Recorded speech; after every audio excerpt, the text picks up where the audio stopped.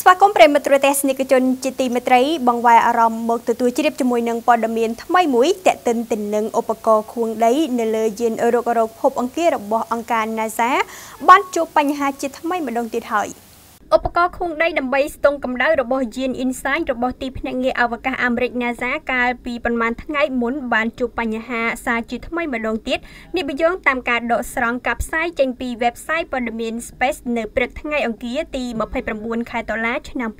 2019បើតាមអង្គការ NASA រូបភាពបានមកពីយាន InSight កាលពីថ្ងៃទី26ខែតុលាបានបង្ហាញថាឧបករណ៍បង្គោលខួងដីហៅថា MOL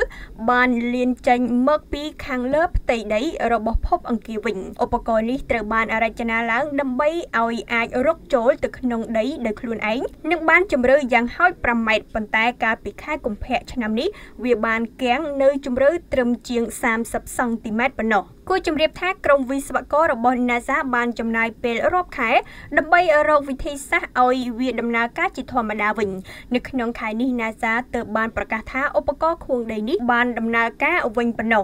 យាន InSight បានទៅដល់លើផ្ទៃភពអង្គារកាលពីខែវិច្ឆិកាឆ្នាំ2018ដើម្បីសិក្សាពីសន្តានដីរបស់ភពក្រហមនេះសម្រាប់ការគាំងជាថ្មីនេះត្រូវបានក្រុមការងាររបស់មន្ទីរពិសោធន៍ JPL របស់ NASA ចាប់ផ្ដើមសិក្សាអំពីការជួសជុលឡើងវិញម្ដងទៀត